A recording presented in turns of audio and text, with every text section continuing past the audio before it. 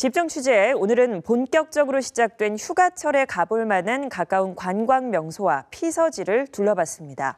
쓰레기 무단 투기, 불법 주차 등 무질서 행위로 눈살을 찌푸리게 하는 장면은 올해도 반복되고 있습니다. 휴양지의 편의 시설이 부족해서 불편을 겪는 곳도 있습니다. 김성원, 이재문 기자가 차례로 보도합니다. 시흥시의 대표 관광지인 오이도. 시원한 바닷바람을 맞으며 조개구이를 먹으려는 관광객들로 붐빕니다. 이 일대에 있는 조개구이와 칼국수 가게는 100여 곳. 경쟁이 치열하다 보니 입구부터 이른바 호객행위가 극성입니다. 도로까지 나와 지나가는 차들을 붙잡기까지 합니다. 힘들 정도가 아니에요. 그렇죠. 극한 직업입니다. 근데 손님들 잡기가 좀 쉽진 않을 것 같아요. 그러니까 치열하긴 한 거죠.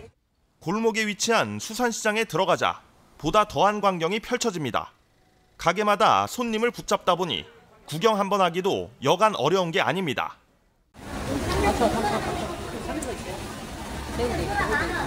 시선 말이 없게요.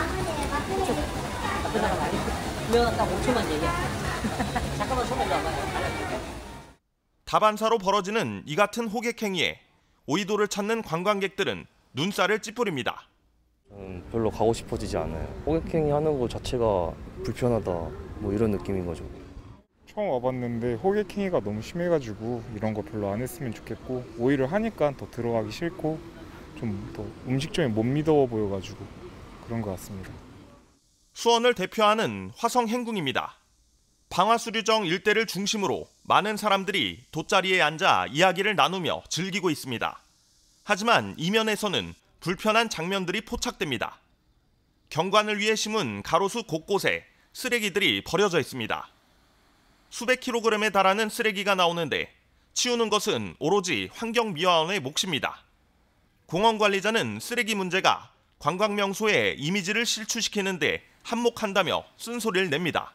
특히 저는 제일 자존심 상하는 게 일본 사람들이 일본 관광지로 와갖고서는 관리인들한테 그런 대우를 들었을 때 그 사람들이 뭐라 그럴까요? 그런 생각도 해보셔야지 안 되겠습니까? 불법 주차 문제도 심각합니다. 주차 금지 안내 표지판이 무색할 정도로 수많은 차량들이 도로에 줄지어 있습니다. 소화전 5m 이내에는 주차를 해선 안 되지만 아랑곳하지 않습니다. 바로 옆 공영주차장에 빈자리가 많지만 주차요금 몇 푼을 아끼기 위해 불법 주차를 해놓은 겁니다. 뭐 저희가 어쩔 수가 없는 게 뭐, 뭐 그분들이 뭐 주차비 뭐 이거를 아까워서 안 들어오시는 걸 수도 있고 뭐 대부분이 뭐 그, 런 이유가 많을 것 같긴 한데 주차비가 비싼가 싶어서 왔는데 하루 종일 해도 3,500원밖에 안 돼. 예 예. 사유지에 무단으로 주차를 해놓은 경우도 있습니다. 일단 자리만 보이면 마구잡이로 주차를 하다 보니 집주인과 다툼이 심심치 않게 벌어집니다.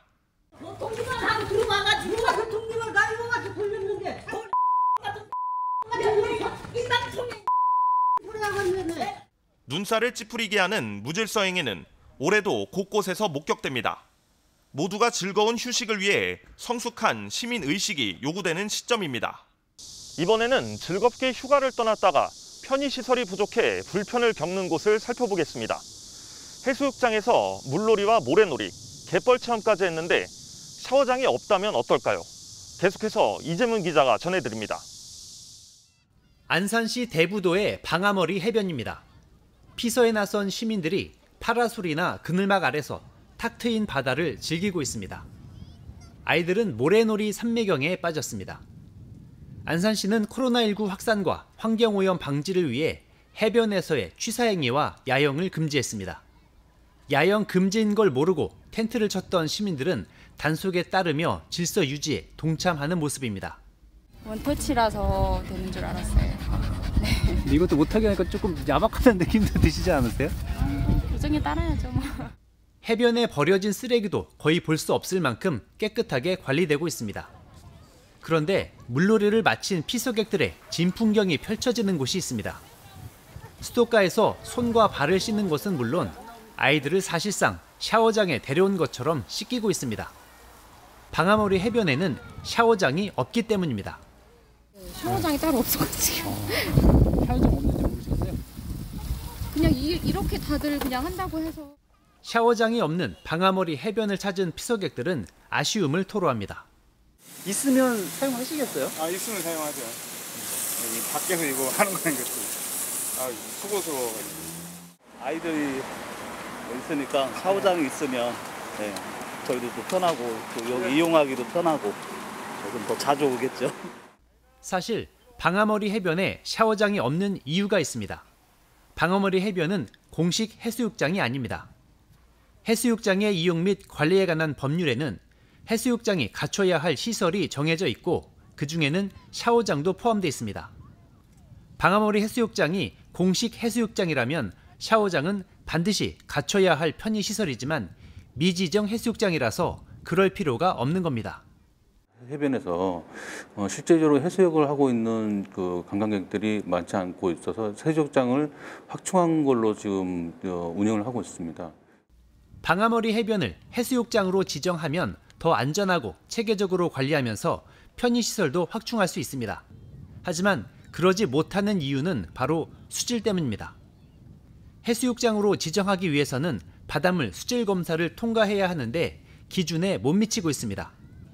복통과 설사 등의 질환을 일으키는 대장균과 전립선염과 방광염의 원인이 되는 장구균이 기준치의 두 배 넘게 검출되고 있습니다. 경기만이 위치한 경기도에는 이 같은 이유로 지정 해수욕장이 단 한 곳도 없습니다. 방아머리 해변에서 물놀이를 마치고 나면 반드시 몸을 깨끗이 씻고 특히 씻지 않은 손으로 음식물을 섭취하지 않도록 주의해야 합니다.